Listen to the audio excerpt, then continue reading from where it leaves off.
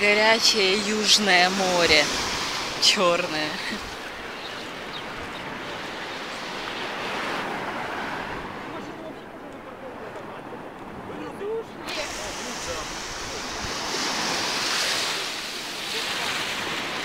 Слегка пасмурно, слегка прохладно.